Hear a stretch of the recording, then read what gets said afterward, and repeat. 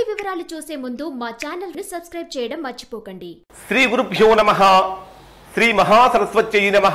ఓం నమస్తిమాయ Narayana Shastri astrology official channel వీక్షిస్తున్నటువంటి ప్రేక్షక మహాశివులకు స్వాగతం సుస్వాగతం. ఈరోజు మనము జ్యోతిష శాస్త్రం ప్రకారం యోగాలు వాటి విశ్లేషణ అనే అంశం గురించి తెలుసుకుందాం.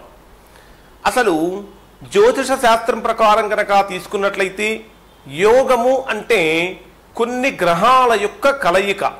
కొన్ని గ్రహాల యొక్క కలయిక కొన్ని స్థానాల్లో అంటే కొన్ని రాసుల్లో కానీ కొన్ని భావాల్లో కానీ కలిసినప్పుడు వాటి మీద శుభగ్రహాల యొక్క దృష్టి పడినప్పుడు ఆ గ్రహాలు ఇచ్చేటటువంటి శుభ శుభ ఫలితాన్ని మనము యోగము అని చెప్తాం.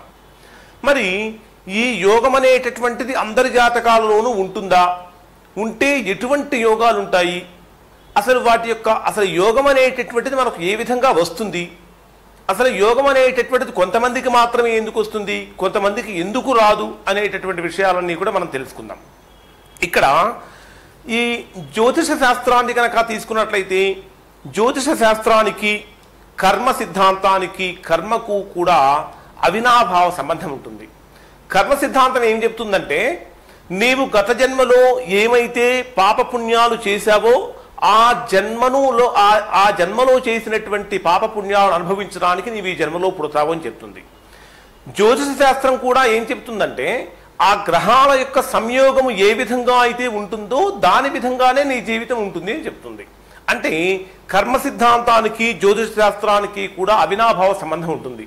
అంటే ఇక్కడ జీవుడు అంటే జాతకుడు తాను చేసినటువంటి కర్మ ఫలితాన్ని చేసినటువంటి కర్మలను ఆ ఫలితంగా సుఖ దుఃఖాలను అనుభవించడానికి ఈ కాలము అనేటటువంటిది నిర్ణయించబడింది.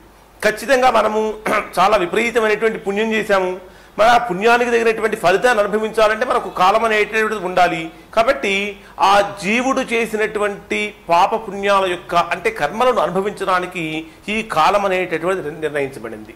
మరి ఆయా సమయాల్లో ఆయా ప్రాంతాల్లో ఆయా కుటుంబాలు అంటే ఒక వ్యక్తి తాను చేసినటువంటి గత జన్మలో చేసినటువంటి పాప పుణ్యాలను బట్టి ఏ కుటుంబంలో జన్మించాలి ఏ కులంలో జన్మించాలి లేదా ఏ ప్రాంతంలో జన్మించాలి ఏ కాలంలో జన్మించాలి ఇవన్నీ కూడా వాటి మీద ఆధారపడి ఉంటాయి. అంటే జ్యోతిష శాస్త్రం అనేటటువంటిది సంపూర్ణంగా కాల సూచక శాస్త్రం అని చెప్పవచ్చు. మరి ఈ కాలసూచక శాస్త్రంలో మన జాతకం ప్రకారం మనకు యోగాలు గనక ఉన్నట్లయితే మనం ఆ యోగాలను గనక అనుభవించాలంటే మొట్టమొదటిగా మనకు ఉండవలసినటువంటిది ఏమిటి అంటే ఆయుర్దాయం. ఆయుర్దాయం ఉంటేనే కానీ మనము అనుభవించవలసినటువంటి సుఖాన్నైనా దుఃఖాన్నైనా మనం అనుభవించాలి. అంటే ఆయుర్దాయం అనేటటువంటిది అతి ముఖ్యమైనటువంటిది. మరి ఈ ఆయుర్దాయాన్ని తెలిపేటటువంటి యోగం కూడా ఉంటుంది. దాంతోపాటు ఎంతోమంది ఋషులు కూడా ఏం చేశారంటే ఈ యోగాల మీద చాలా సాధన చేశారు. వీటిట్లో ప్రధానమైనటువంటివి ఐదు యోగాలు ఉన్నాయి అని చెప్పారు. ఈ ఐదు కాకుండా ఇంకా ఇరవై ఒక్క యోగాలు కూడా ఉన్నాయి. మొత్తం ఇరవై ఆరు యోగాలు ఉన్నాయి. ఈ ఇరవై ఆరు యోగాలు కూడా ప్రతి వ్యక్తి జాతకంలో ఎప్పుడో ఒక సందర్భంలో ఏదో ఒకసారి వస్తూనే ఉంటాయి. ఆ ఇరవై మొత్తం అంటే ఒక ఐదు పంచమహాపురుష యోగాలు ఉన్నాయి. ఈ ఐదు పంచమహాపురుష యోగాలు ప్రతి వ్యక్తి జీవితంలో కూడా ఉన్నాయా? అసలు ఆ పంచమహాపురుష యోగాలు కనుక ఉన్నట్లయితే అవి ఎందుకు మనకు అప్లై కావటం లేదు? కొన్ని కొంతమంది ఏమో ఎంత కష్టపడినప్పటికీ కూడా అధోగతికి వెళ్ళిపోతూ ఉంటారు. కొంతమంది ఏమో ఏ పని చేయకపోయినప్పటికీ చిన్న చిన్న పనులు చేస్తున్నప్పటికీ కూడా చాలా ఉన్నతమైనటువంటి స్థానానికి పోతూ ఉంటారు. మరి అలా కారణం ఏమిటి?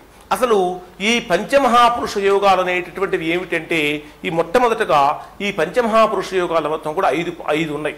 ఇవి ఒకటి రుచిక మహాపురుష యోగము రెండు భద్ర మహాపురుష యోగము మూడు హంస మహాపురుష యోగము నాలుగు మాలవ్య మహాపురుష యోగము ఐదు శశ మహాపురుష యోగము. ఈ పంచమహాపురుష యోగాలు ఏ గ్రహాల కారణం చేత కలుగుతాయి? ఏ గ్రహాలకి అనుకూలత ఉండాలి? ఏ గ్రహాల మీద ఏ దృష్టి ఉంటే ఉంటుంది ఏ గ్రహాలు ఏ ఏ స్థానాల్లో ఉంటే ఈ యోగాలు అనేటటువంటి కలుగుతాయనే వీడియో మనం తర్వాత విషయము తర్వాత వీడియోలో తెలుసుకుందాం. ఈ వీడియో కనుక మీకు నచ్చినట్లయితే ఈ సింబల్ మీద టచ్ చేసి లైక్ చేయండి. మరిన్ని వీడియోల కోసం మా ఛానల్ సబ్స్క్రైబ్ చేసుకోండి. సబ్స్క్రైబ్ చేసిన వెంటనే మీకు బెల్ సింబల్ కనిపిస్తుంది. బెల్ సింబల్ కూడా టచ్ చేయండి. Narayana Shastri astrology official channel వీక్షించినందుకు ధన్యవాదాలు.